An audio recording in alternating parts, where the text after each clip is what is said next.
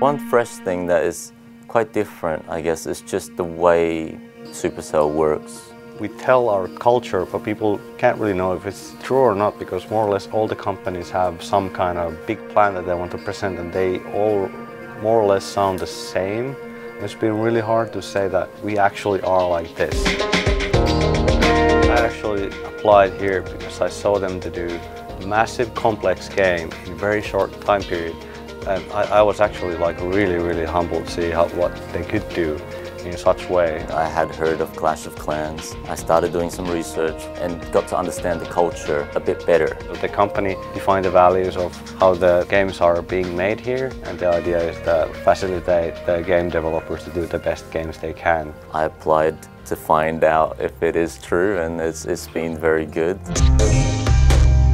For me, the main difference is coming into a studio where many people actually come from different backgrounds. Usually we have only generalist artists, so not specifically doing any one thing. We can all contribute to how we desire the game. So there is no like from top down saying that you need to go there. You basically have the decision of yourself. Since the teams are very small, in terms of understanding the game, heading towards a particular direction, everybody more or less knows that direction because they work very close to each other.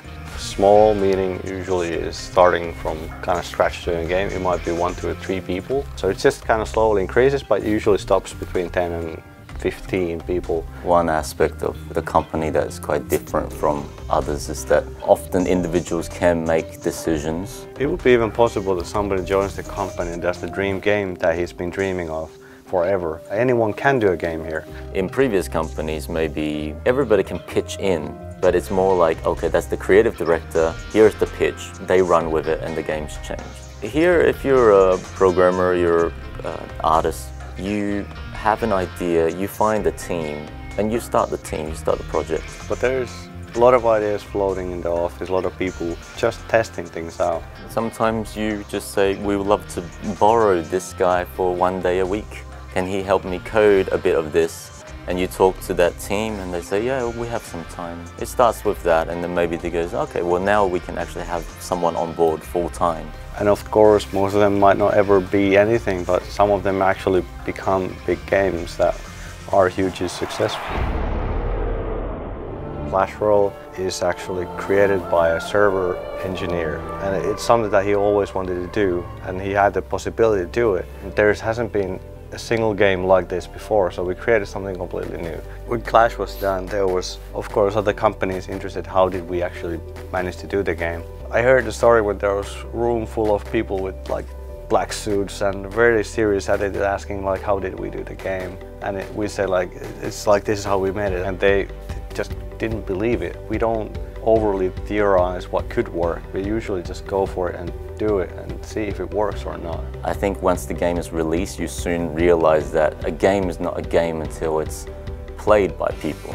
You could almost consider if you're an artist that you do a drawing might work really well the first time, but not might work first times. But with games it's even more harder because you can't define what is fun, for example, so you have to try what is fun. Sometimes there might be companies where a programmer comes to tell you that something doesn't look right.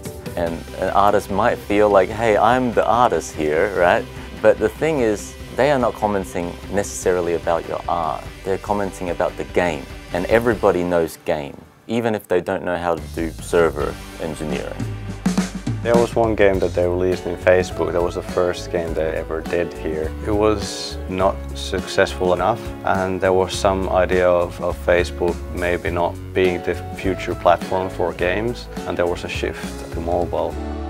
The freedom is, is, is insanely a big deal here. The independence is, is true to the teams. And that also helps when you have to kill a game, for example.